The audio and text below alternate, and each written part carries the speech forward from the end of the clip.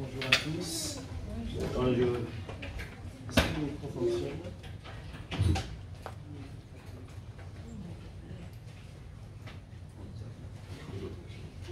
Bonjour à tous. Bonjour. Umarona Leupa. Pour ceux qui ont suivi la méditation de ce matin, För de som följde stunden när vi var här och mediterade Guds ord. Dieu nous a parlé de différentes manières. Nous avons été bénis. Nous avons été aussi bénis d'une manière particulière sur un point particulier. C'est 1 Corinthiens 7, verset 19, Första Korinthierbrevet kapitel eh, 7, vers 19. où il est dit tout simplement que ce qui compte, c'est de marcher selon les commandements de Dieu. Genom eller i Guds bud. J'ai regardé ma femme, je lui ai dit, regarde comment le Saint-Esprit fait la coordination des choses. Ceux qui ont leder oss." rédigé le lecteur de la Bible vi använder n'avaient pas prévu que ce jour-ci, nous allons parler de marcher selon les commandements de Christ. Et voilà que le. Saint-Esprit a tout coordonné. Och vi ser att den helige Ande satt allt tillsammans. C'est pour cela que nous devons être attentifs. Det är därför vi måste lyssna till Puisque Dieu parle de différentes För manières. att Gud talar på olika sätt. Et Dieu, quand il parle, Och när Gud talar, il confirme sa han parole. bekräftar det Et han sa säger. parole, ce n'est pas des paroles. C'est esprit et vie. Hans ord är ande och liv. Nous allons lire des textes pour traiter notre sujet. Le premier texte, c'est Jean, 1 Jean chapitre 2, versets 3 à 6. Första Johannes kapitel 2. Il est dit, si nous gardons ses commandements, je lis l'ensemble ou bien tu lis au fur et à mesure? Si nous gardons ses commandements, par là, nous savons que nous l'avons connu. Celui qui dit, je l'ai connu, mais qui ne garde pas ses commandements, c'est un menteur. La vérité n'est point en lui. Mais celui qui garde sa parole, l'amour de Dieu est véritablement parfait en lui. Par là, nous savons que nous sommes en lui. Celui qui dit qu'il demeure en lui doit marcher aussi comme lui, il a marché. Amen. Ça, c'est le premier texte. En Jean 2, 3 à 6. Okej. Första Johannes 2 kapitel 3 till 6. Vi vet att vi har lärt känna honom när vi håller fast vid hans bud. Den som säger jag känner honom och inte håller fast vid hans bud, han är en lögnare och sanningen finns inte i honom. Men hos den som håller fast vid hans ord, hans ord har Guds kärlek verkligen nått sitt mål. Så vet vi att vi är i honom. Vers 6. Den som säger sig förbi i honom är skyldig att själv leva så som han levde. Deuxième texte à méditer. Andra text. 1 Jean chapitre 3, Första Johannes kapitel 3, versets 21 à 24. vers 21 till 24. Bien-aimés, si notre cœur ne nous condamne pas, nous avons de l'assurance devant lui. Quoi que ce soit que nous demandions, nous le recevons de lui parce que nous gardons ses commandements et que nous faisons ce qui lui est agréable. Et c'est ici son commandement, que nous croyons au nom de son Fils Jésus-Christ et que nous puissions nous aimer les uns les autres selon son commandement, les commandements qu'il nous a donnés. Celui qui garde ses commandements demeure en Dieu, et Dieu demeure en lui. Nous connaissons qu'il demeure en nous l'Esprit qu'il nous a donné. Mina älskare, om hjärtat inte anklagar oss är vi frimodiga inför Gud. Och vad vi än ber om, det får vi av honom. Ty vi håller hans bud och gör det som glädjer honom. Och detta är hans bud, att vi ska tro på hans son Jesu Kristi namn och älska varandra så som han har befallt oss. Den som håller fast vid hans budskap förblir i Gud och Gud i honom, och att Gud förblir i oss, det vet vi av anden som han gav oss. Dernier texte, Sista texten, 1 Jean chapitre 5, versets 3 à 4. Första Johannes kapitel 5, vers 3 till 4. Car l'amour de Dieu consiste à garder ses commandements. Et ses commandements ne sont pas pénibles, puisque tout ce qui est né de Dieu triomphe du monde. Et la victoire qui triomphe du monde, c'est notre foi. Amen. Detta är kärleken till Gud, att vi håller hans bud och hans bud är inte tunga. Ty allt som Gud besegrar världen och detta är den seger som har besegrat världen och vår, vår tro. Nous avons vu hier que le commandement de Dieu, Guds bud, la parole de Dieu, Guds ord, c'est la vérité. sanningen. La vérité est opposée au mensonge. Sanningen är motsatsen till lögnen. Jésus-Christ est la vérité. Jesus är sanningen. Alors que le diable, lui, c'est le père de mensonges, amen. qui instigue tous les mensonges. Är lögnens fader. Nous avons donc le privilège d'avoir accès à la vérité. La vérité qui se trouve en Jésus-Christ. Jesus. Les commandements de Dieu, c'est la vérité. Sanningen. Nous avons un élément particulier à considérer ici. Si quelqu'un dit qu'il est dans la vérité alors qu'il continue à agir dans le mensonge, Om någon säger sig vara i sanningen och fortsätter leva il i lögn, dans les ténèbres. han är fortfarande i mörkret. Ici, un élément particulier à souligner. Och någonting speciellt att påpeka. Marcher selon les commandements de Dieu. Att vandra genom Guds bud. Si une personne déclare Om en person säger qu'il a connu le Christ att han känner Kristus et ne garde pas ses commandements, och behåller eller förblir inte i hans ord. Jean déclare Johannes säger que cette personne est une menteuse. att den person är en lögnare. La vérité n'est pas en elle. Sanningen finns inte hos den personen. Au contraire, Jean déclare Johannes säger que si quelqu'un garde les commandements de Dieu, l'amour de Dieu est parfait en lui. Guds kärlek blir perfekt i den. Garder la parole de Dieu, Att bevara, behålla marcher Guds selon ord, la parole de Dieu, vandra enligt Guds ord. c'est le meilleur moyen d'exprimer notre amour pour Dieu. Det är vårt bästa sätt att uttrycka vår kärlek. Jésus a dit, si vous m'aimez, vous garderez mes Jesus commandements. sa, om ni älskar mig, ni ska behålla mina ord. Pratiquez la vérité. Praktisera sanningen. Gardez les commandements du Seigneur. Behålla Herrens bud. Marchez selon la volonté de notre Dieu. Vandra enligt Guds vilja. Les commandements ici au pluriel sont l'équivalent de la parole entière, la parole de Dieu. Guds bud här i den pluralform, det, det hela Guds ord. Connaître Dieu, Att tjäna Gud, c'est aussi connaître sa parole. hans On ne peut pas connaître Dieu si on ne connaît pas sa parole. C'est par la parole de Dieu que nous connaissons Dieu. L'Esprit de. Dieu agit au travers de la parole pour nous faire connaître Dieu et aussi pour nous garder en communion avec Dieu. Connaître la parole de Dieu et marcher selon la parole de Dieu sont indissociables. Skiljas från On ne peut pas dire qu'on connaît Dieu. On ne peut pas dire qu'on aime Dieu et ne pas garder ses commandements. La Bible dit celui qui déclare ainsi qu'il connaît Dieu mais qui ne garde pas ses commandements, c'est un menteur. La parole de vérité n'est pas en lui. Jésus disait Jesus dans sa prière, Jean 17, 17, Johannes 17, 17. il disait à son Père, sanctifie-les par ta parole et la vérité. helga dem med ditt ord.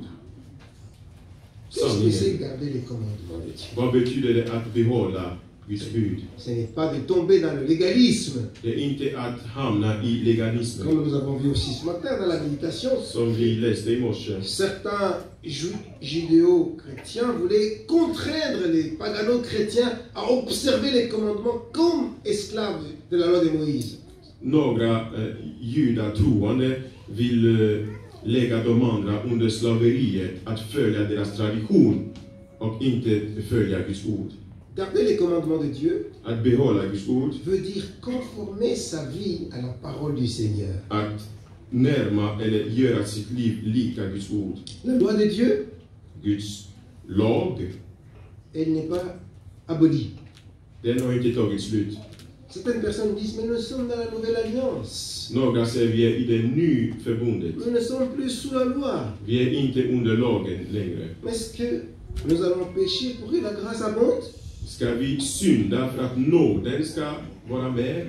L'apôtre Paul dit ceci dans Romains, Paulus säger så här i Romarbrevet, chapitre 7, verset 12.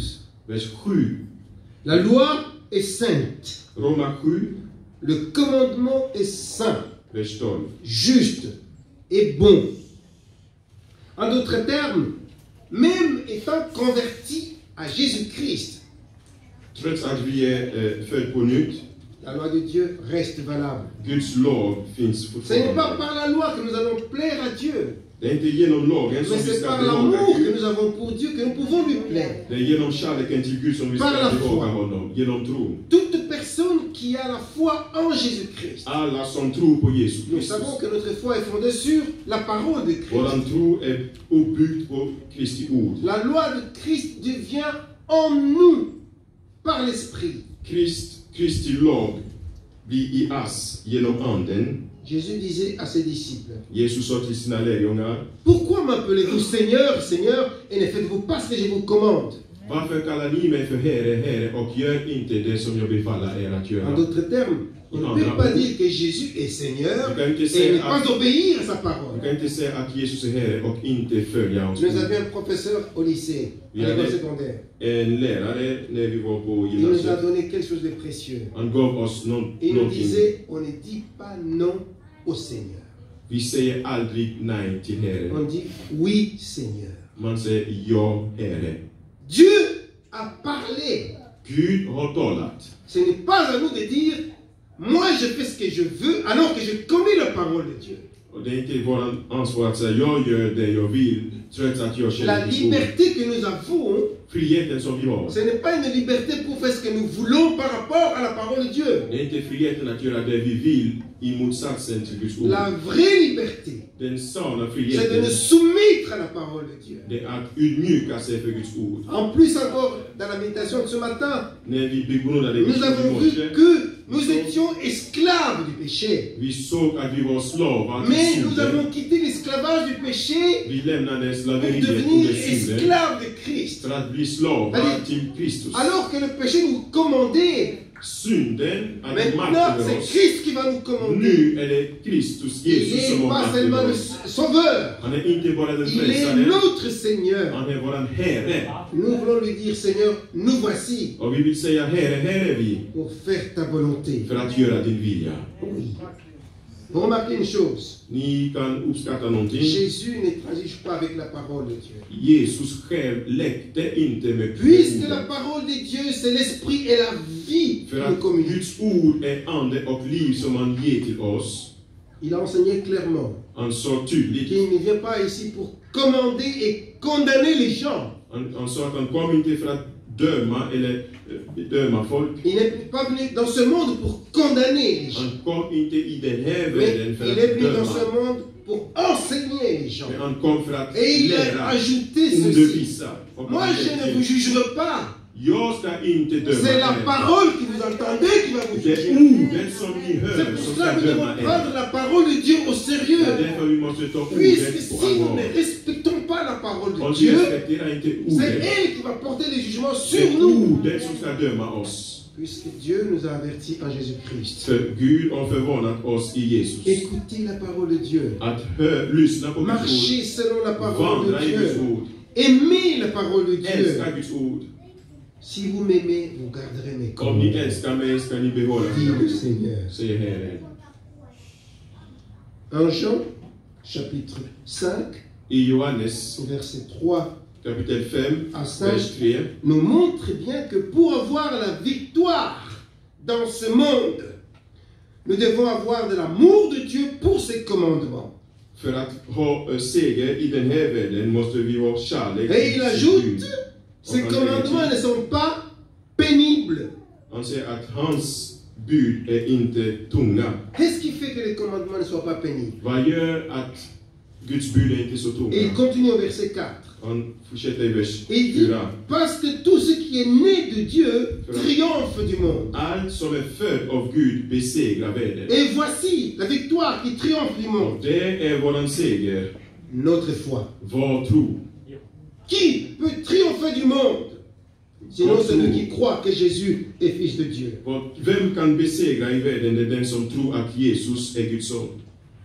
Nous avons constaté que beaucoup de chrétiens disent que c'est difficile de marcher selon la loi de Dieu. Vi har hört att många kristna säger det är svårt att vandra enligt Guds ord. Certains ont même déjà capitulé, c'est-à-dire ils s'en sentent comme désarmés, ils ne peuvent pas faire tout ce que Dieu demande. Det är flera som har kapitulerat och de säger de kan inte göra det som Gud begär.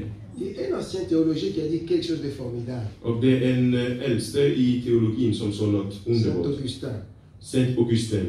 Il a dit, Han sa Dieu nous donne ce qu'il nous ordonne. C'est-à-dire, c'est quand Dieu nous demande quelque chose, il nous donne le moyen de l'accomplir. Si il nous donne une loi, il nous donne la capacité d'observer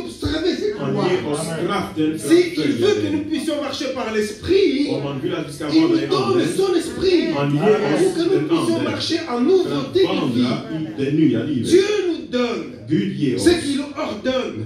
C'est-à-dire, il nous donne la capacité de marcher selon ses bud. Quelle grâce!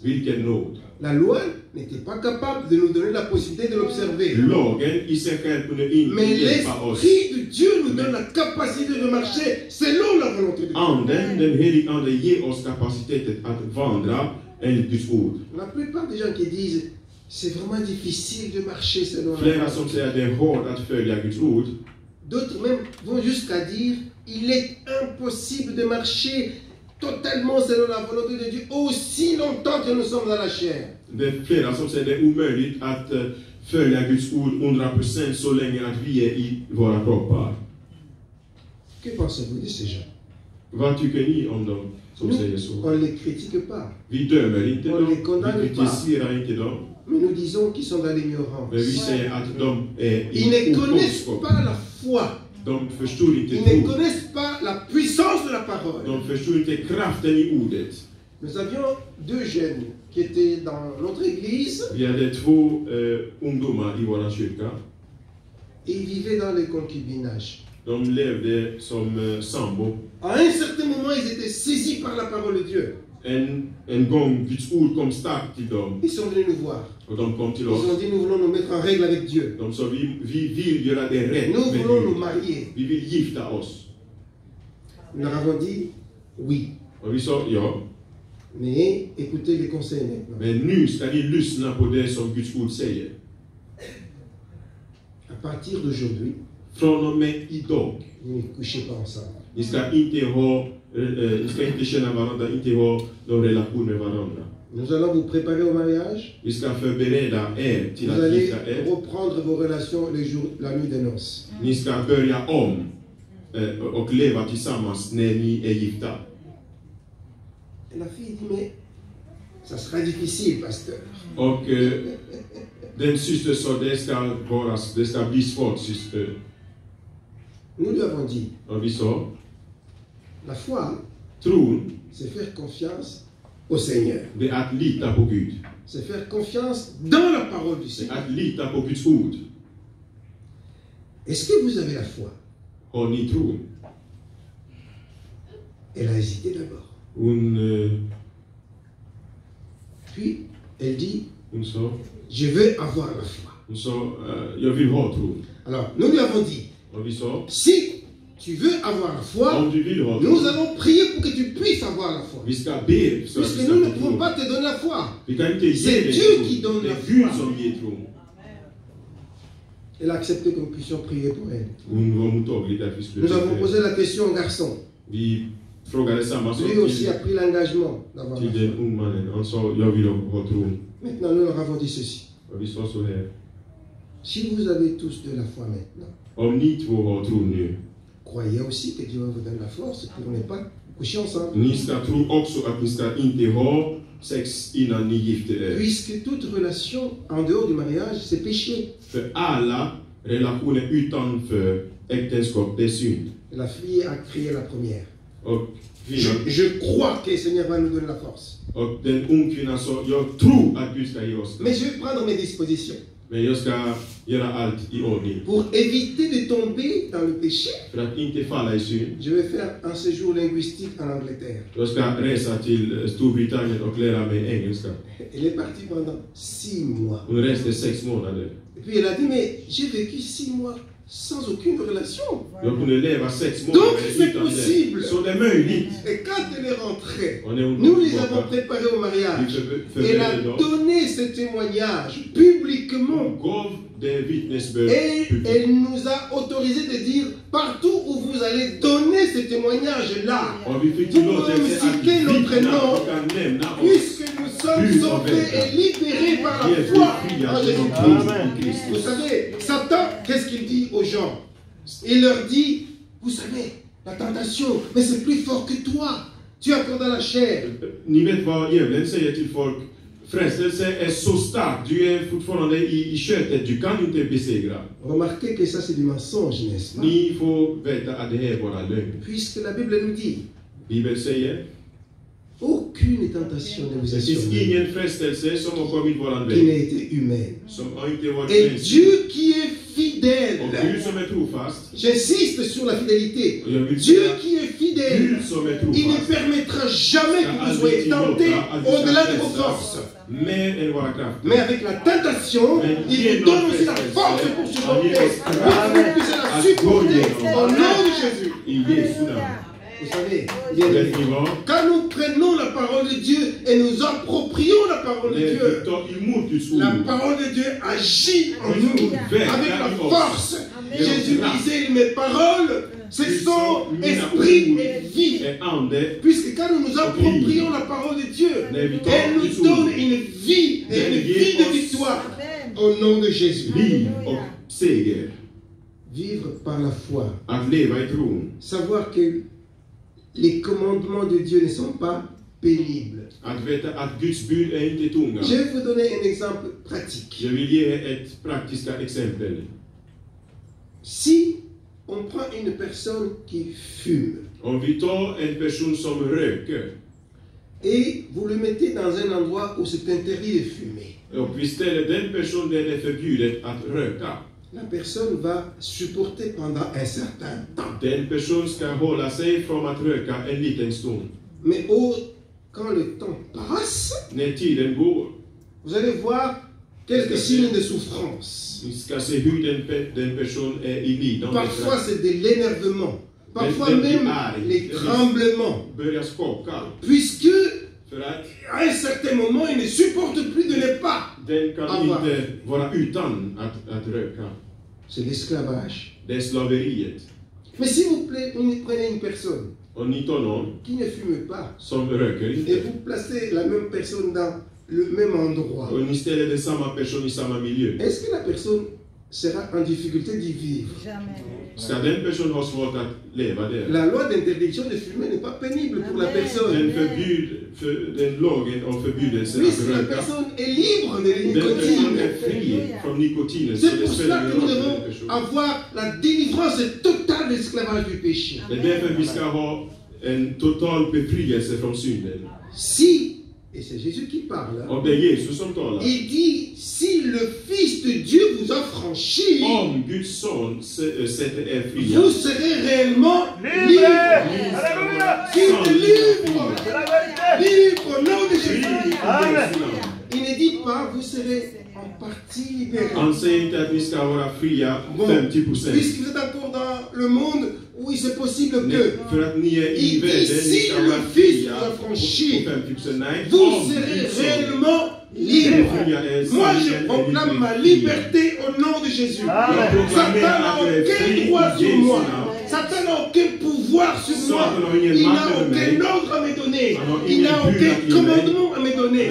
Mon être tout entier, l'esprit, l'âme, le corps appartient au Seigneur. till Je ne m'appartiens pas à tillhör inte Je ne fais pas ce que moi je veux, mais je fais ce que. Dieu veut.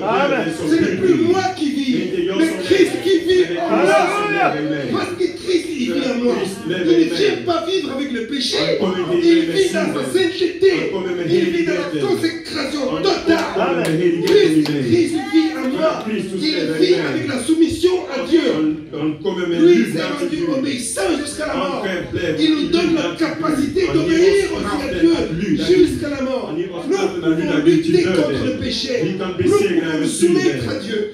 La Bible nous dit dans Jacques chapitre 4, Jakob 4, verset 7. Vers 7. Soumettez-vous à Dieu inför Gud. et résistez au diable et il fuira loin de vous. Ce qui nous donne la force de résister au diable, c'est la soumission à Dieu. La clé de la soumission nous donne la victoire sur le péché. Se soumettre à Dieu veut dire vivre selon ses commandements. Quelle grâce. Vilken nåd. Le Christ vit en nous. Ce n'est plus moi pour chercher à me satisfaire. Ce n'est plus moi. C'est Christ qui vit. Det är Kristus som lever i mig. Christ qui vit en moi. Kristus som lever i mig. J'ai posé la question un jour à un jeune homme Jag ställde frågan till en ung man qui me disait Mais som sa le monde est quand même difficile. hein? världen är svår. Je dis Est-ce que Christ est faible par rapport au monde? La Bible nous dit? Celui qui est en nous est plus grand que celui qui est dans le monde. Nous ne pouvons pas déclarer des faits devant le péché. Déclarer des faits devant. Satan. Satan a été vaincu sur la croix. Ses puissances ont été vaincues sur la croix. La puissance de séduction, la puissance de mensonge, de lögner, Vous savez, la Bible nous dit säger que sur la croix. Christ a triomphé publiquement.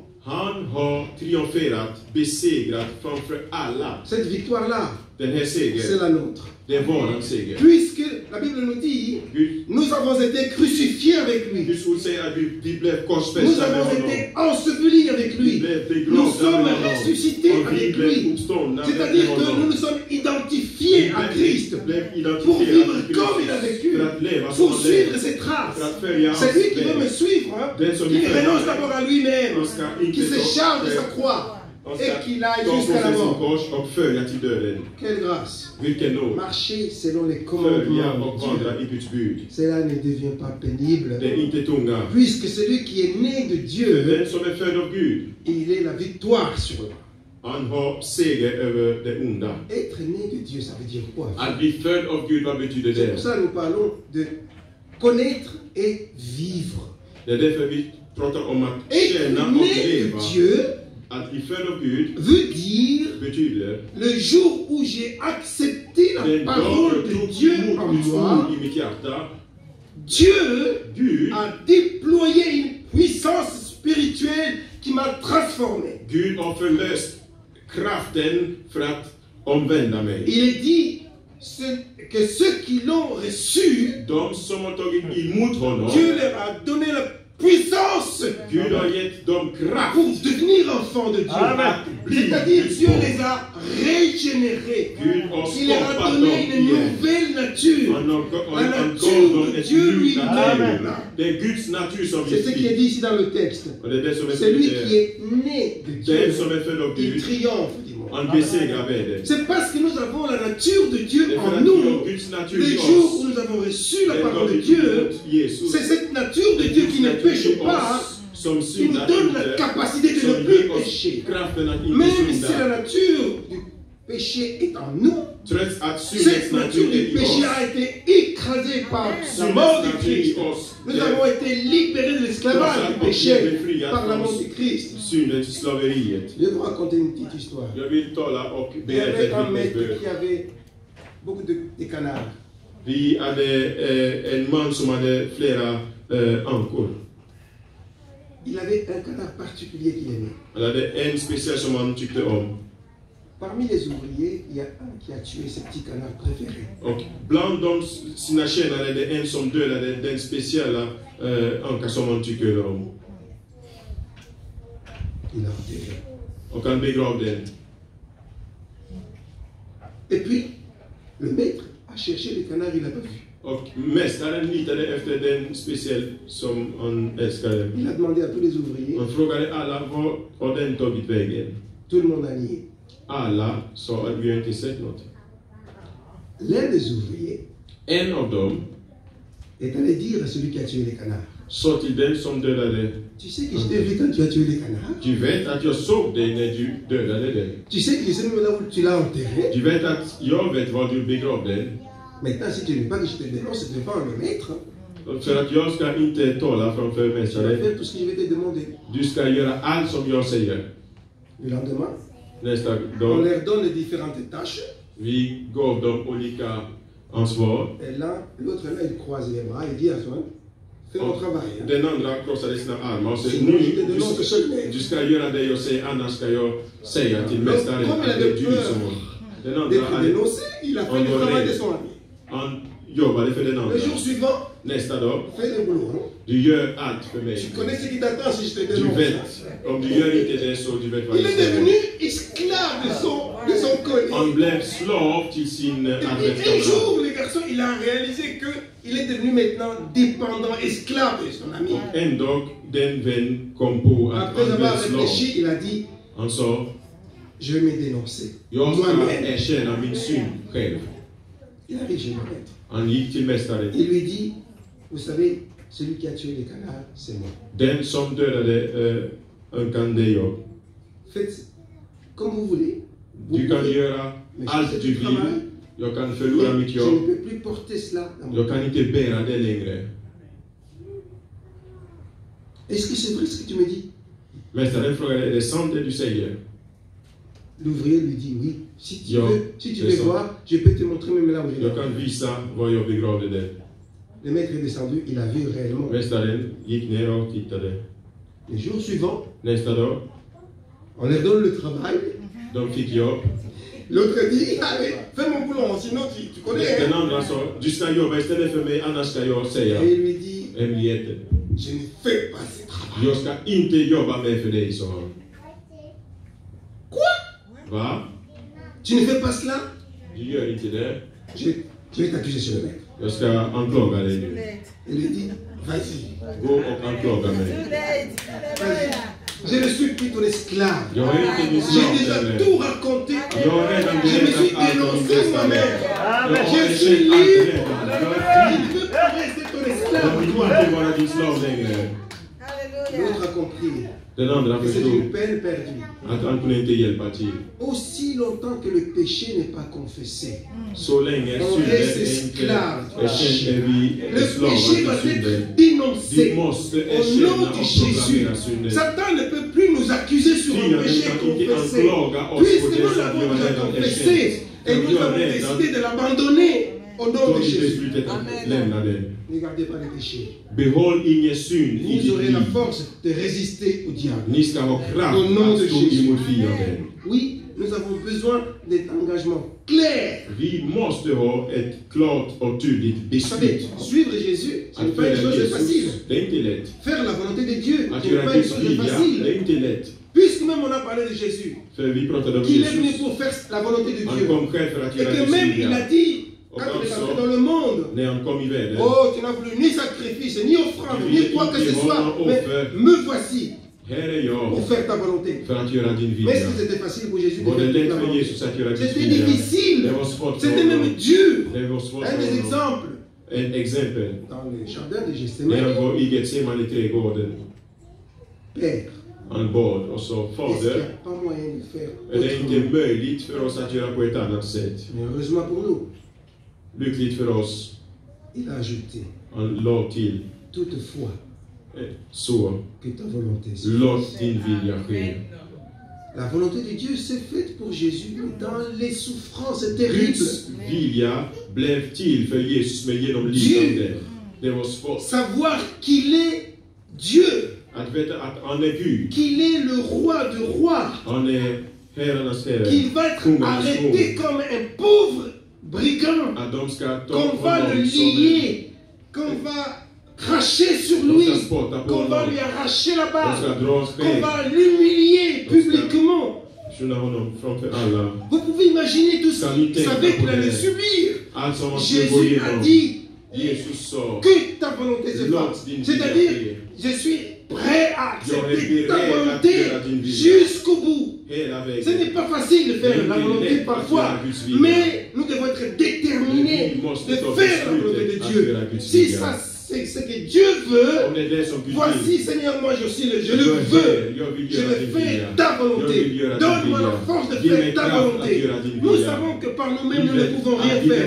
Mais avec la force que Dieu nous donne, nous pouvons dire comme l'apôtre Je fais tout par celui qui me sanctifie. Puisse en lui nous avons la force de marcher selon la volonté de Dieu. Oui, Ja. Jésus a eu besoin d'être soutenu. Jesus behövde stöd. Nous avons besoin d'être Vi soutenus behöver stöd dans l'accomplissement de la för att volonté. fullborda Guds vilja. Mais rien n'est impossible. Ingenting är omöjligt. Rien n'est pénible. Ingenting är tungt. Puisqu'il nous est dit ceci. För att det är sagt Éphésiens chapitre 4, Efesierbrevet kapitel 4, versets 11 à 15. vers 11 till 15. Que Dieu a donné des dons à son Église pour le perfectionnement des fidèles, pour que nous puissions arriver à l'unité de la foi et à la connaissance du Fils de Dieu, à l'état d'homme fait, à la stature parfaite de Christ. Voilà notre vocation.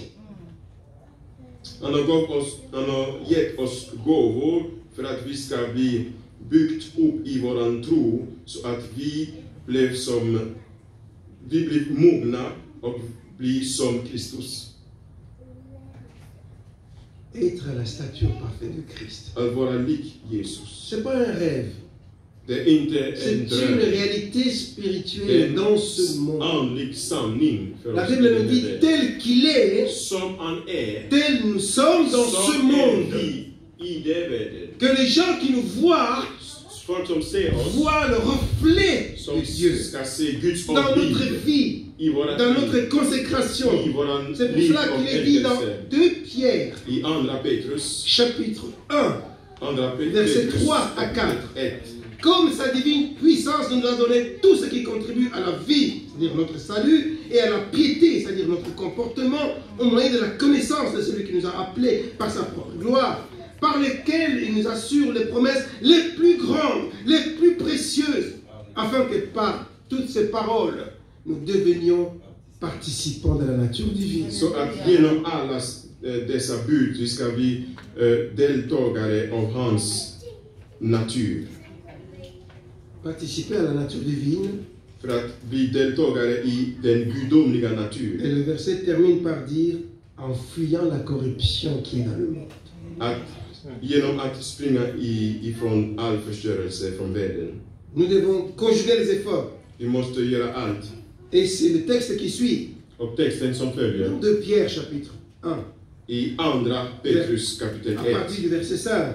från vers 5. À cause de ce que Dieu a déjà fait, faites tous vos efforts pour joindre à votre foi la vertu, à la vertu la connaissance, à la connaissance la maîtrise de soi, la maîtrise de soi la patience, la piété, l'amour fraternel. À cause de ce que Dieu a déjà fait, det som Gud har redan gjort, vi ska lägga till självbehärskning, självbehärskningen, uthållighet, kunskap, Guds fruktan. Ce que Dieu a déjà fait, c'est de nous donner sa nature. qui nous rend möjligt de trouver plaisir dans la loi de l'Éternel. Pour que nous puissions marcher dans la sainteté en suivant le modèle de Christ. Dans 1 Pierre chapitre 1, Första Petrus kapitel 1, versets 14 à 16. vers 14 till 16. Il est dit ceci. Comme des enfants obéissants, ne vous